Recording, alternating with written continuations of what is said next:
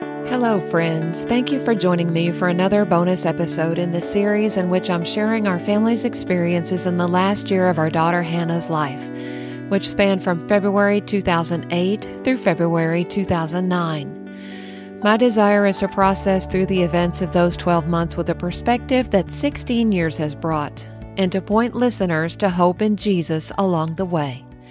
I'm grateful you've joined me. This is bonus episode number 121 Isolated but Not Alone. October 28, 2008. Because of her very low immunity, Hannah's doctors ordered her to be isolated. Other than trips to radiation and doctor's appointments, she had to stay home. No school, no church, no going out to eat, no ball games.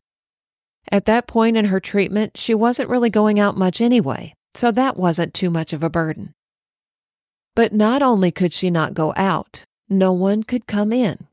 That meant no visits from friends or even extended family. Even that didn't seem to bother her too much.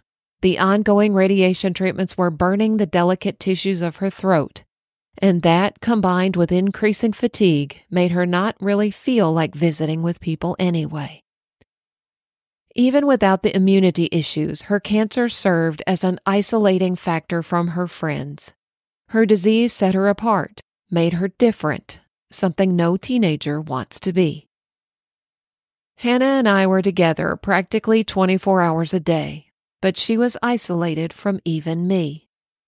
As hard as I tried, and as much as I wanted to, I could only peer in from the outside. I could not carry her burden for her, not even for a little while, and I couldn't fully understand what she was going through. I could not lie beside her in an MRI tube, take a radiation treatment, swallow her chemotherapy pills, carry the weight of her fatigue, or feel the pain in her throat. I didn't know what it felt like to have my hair come loose in my hands. This was a journey she had to make alone. But she wasn't alone, not really, God was with her every step of the way. He had redeemed her and called her by name.